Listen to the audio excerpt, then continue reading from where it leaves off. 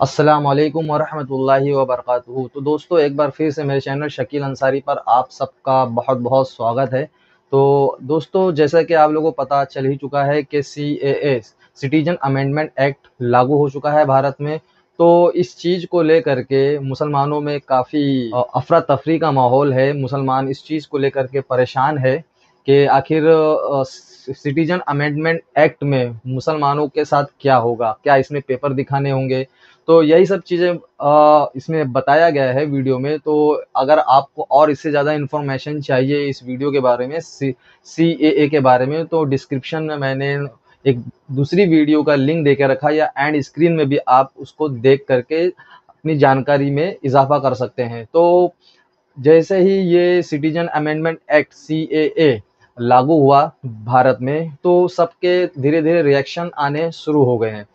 हाँ तो सबसे पहले मैं आप लोगों को लेके चलूँगा रविश कुमार जी, जो कि एक वरिष्ठ पत्रकार हैं, बहुत अच्छे पत्रकार हैं, जिनका लोहा सारी दुनिया में माना जाता है और एक ऊँचे मकाम के पत्रकार हैं। तो उनका क्या रिएक्ट आया, क्या रिएक्शन दिया है उन्होंने सी ए को लेकर के? तो आप लोग सबसे पहले रविश कुमार का वो वीडियो देखिए। भारत ने कभी धर्म के आधार पर नागरिकता नहीं दी। नागरिकता कानून कहता है कि मुसलमान को छोड़कर और वो भी केवल तीन देशों से। धर्म के कारण प्रताड़ित किए गए हिंदू, सिख, जैन, बौद्ध, पारसी और ईसाई को ही नागरिकता मिलेगी।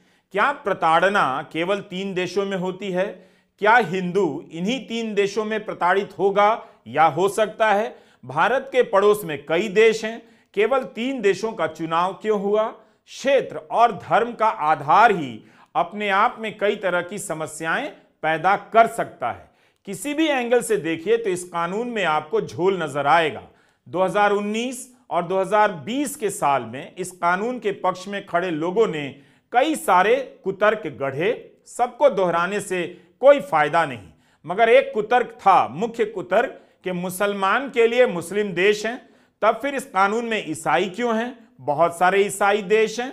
भारत में नागरिकता क्यों दी जा रही है? नागरिकता कानून में बौद्ध क्यों हैं? दुनिया में बहुत सारे बौद्ध देश हैं। Myanmar, Bhutan, Vietnam, South Korea, Thailand और श्रीलंका। चीन, जापान बौद्ध देश नहीं है, मगर यहाँ बड़ी संख्या में लोग बौद्ध धर्म का अनुसरण करते हैं। हाँ तो दोस्तों, जैसा कि अभी आप लोगों ने रविश कुमार का ये वीडियो देखा, जिसमें उन्होंने सी ए को लेकर के अपने रिएक्शन दिए हैं, अपनी राय दी दी है। तो अब चलते हैं हम दूसरे वीडियो की तरफ़।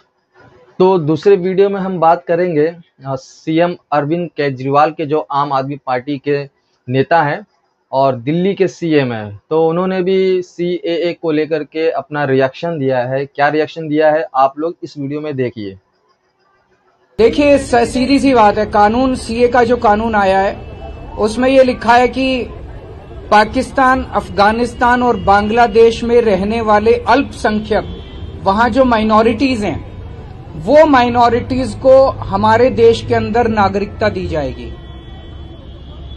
वहाँ पे लगभग ढाई से तीन करोड़ माइनॉरिटीज हैं, तीनों देशों के मिला के अगर उनमें वो बहुत गरीब देश हैं, अगर ऐसे हमने अपने दरवाजे खोल दिए उनके लिए, देश के दरवाजे खोल दिए उनके लिए, अगर उन ढाई तीन करोड़ लोगों में एक डेढ़ करोड़ लोग भी हमारे देश में आ गए, उनको कहाँ बसाएँगे? उनको कहाँ रहने की जगह देंगे? वहाँ उनको जॉब्स कहाँ से देंगे? नौकरियाँ कहाँ से देंगे? घर कहाँ से आएँगे?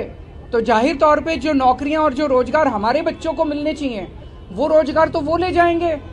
और जो इतने सारे, इतनी भारी, हम तो दरवाजे खोल रहे हैं, इतने गरीब लोग वहाँ से उठ उठ के आ जाएँगे बाकी पड़ोसी देशों से। इतने गरीब लोग उठ के, मैं हिसाब लगा रहा था, अगर एक डेढ़ करोड़ लोग भी आ गए, आज़ादी के बाद उन्नीस में जितना बड़ा माइग्रेशन हुआ था उससे कहीं ज़्यादा बड़ा माइग्रेशन इस एक सीए के कानून से होने जा रहा है।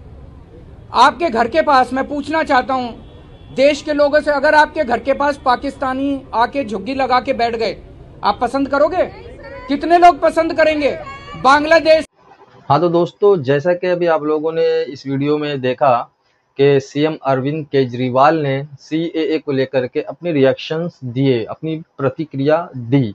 अब बात करेंगे हम साउथ के एक एक्टर हैं। उन्होंने क्या कहा है, हम, मैं आपको पढ़ करके सुनाता हूँ। आप लोग स्क्रीन पर सामने देखें। हाँ तो दक्षिण फ़िल्मों के एक्टर थालापति विजय, उन्होंने सी ए ए को लेकर के अपनी क्या राय दी है, क्या प्रतिक्रिया दी है, क्या रिएक्शंस दिए हैं? मैं आपके सामने स्क्रीन पर ये हेडलाइन आपके सामने रख रहा हूँ, आप लोग देखें और मैं पढ़ता हूँ। तो इसमें दिया है कि सी ए ए के विरोध में उतरे दक्षिण फ़िल्मों के एक्टर थालापति विजय बताया भाईचारे के लिए संकट। दक्षिण फ़िल्मों में सुपरस्टार और हाल ही में अपनी पार्टी लॉन्च कर राजनीति में एंट्री लेने वाले थालापति विजय ने कहा है कि जब देश में सभी सौहार्द से रहना चाहते हैं तो ऐसे समय में सीएए को स्वीकार नहीं कर सकते। और ये रहा पहला रिएक्शन इनका। एक जगह और इन्होंने रिएक्शन दिया है, वो भी मैं आप लोगों को पढ़ करके सुनाता हूँ। इस सामने आप स्क्रीन पर भी देख सकते हैं। हाइलाइट्स में लिखा है कि थालापति विजय ने सी ए ए को बताया अमान्य। तमिलनाडु सरकार से गुजारिश, ये हमारे राज्य में लागू ना हो। ये कहना है थालापति विजय का, जो कि एक फ़िल्म स्टार हैं, साउथ के।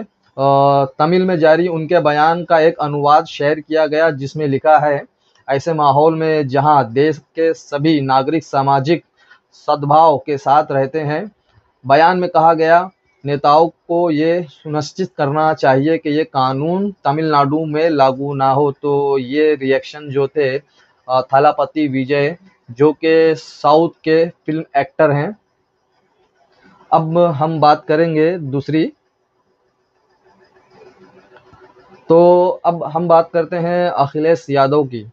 अखिलेश यादव ने भी इसको लेकर के सी ए पर पे अपने रिएक्शन दिए हैं। उन्होंने अपने ट्विटर हैंडल पे जा करके ट्वीट किया है। तो वो ट्वीट मैं आप लोगों को पढ़ करके सुनाता हूँ। आप सामने स्क्रीन पर देखें। जब देश के नागरिक रोजी रोटी के लिए बाहर जाने पर मजबूर हैं तो दूसरे के लिए नागरिकता कानून लाने से क्या होगा? जनता भटकाओ जनता अब भटकाव की राजनीति का भाजपाई खेल समझ चुकी है। भाजपा सरकार ये बताए कि उनके 10 सालों के राज में लाखों नागरिक देश की नागरिकता छोड़कर क्यों चले गए? और फिर आगे लिखते हैं कि चाहे कुछ हो जाए, कल इलेक्ट्रॉल बॉन्ड का हिसाब तो देना ही पड़ेगा और फिर केयर फंड का भी। तो ये रिएक्शन थे अखिलेश यादव के। हाँ तो दोस्तों ये जितने भी मैंने रिएक्शन अभी आप लोगों को दिए, आगे और भी जो रिएक्शंस आएँगे, वो भी मैं इंशाल्लाह आप लोगों के सामने लेके आता रहूँगा। और अगर आप लोगों को और सी ए की इन्फॉर्मेशन चाहिए तो मैंने डिस्क्रिप्शन में और एंड स्क्रीन में वो वीडियो का लिंक लगा दिया है, जहाँ से आप अपनी जानकारी इन्फॉर्मेशन ले सकते हैं।